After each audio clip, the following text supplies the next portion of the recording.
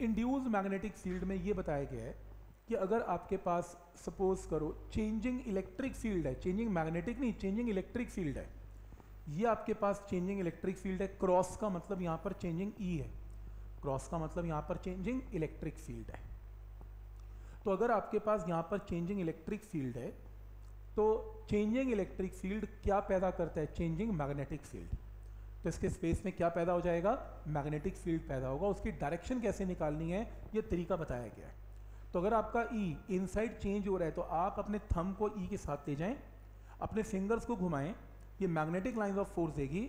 Draw a tangent this will give direction of magnetic field at that point तो magnetic field की direction के लिए थम ई e के साथ जाएगा और चार फिंगर ऐसे घूमेंगी तो आपके पास क्या आएगा?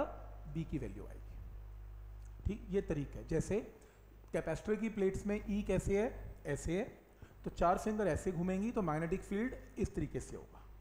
तो ये तरीका बता रखा है कि मैग्नेटिक फ़ील्ड जो पैदा होगा उसकी डायरेक्शन कैसे होगी।